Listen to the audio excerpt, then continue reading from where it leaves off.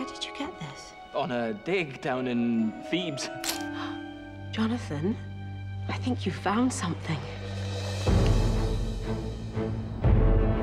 There is an ancient legend of a place known as the City of the Dead. We call it the doorway to hell. Where the earliest pharaohs were said to have hidden the wealth of Egypt.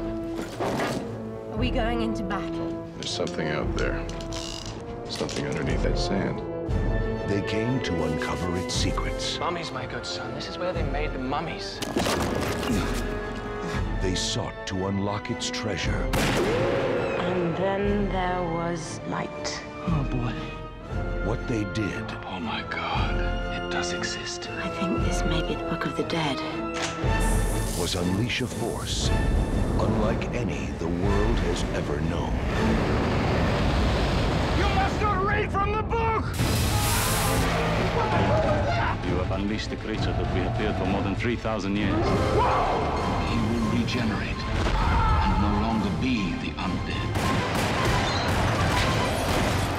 We are in serious trouble. On May 7th, This one? The occasion calls for it! Trust me! It calls for it! Universal Pictures invites you His powers are growing. This just keeps getting better and better. to experience the adventure It appears he's already chosen his human sacrifice. that will live forever. If he turns me into a mummy, you're the first one I'm coming after.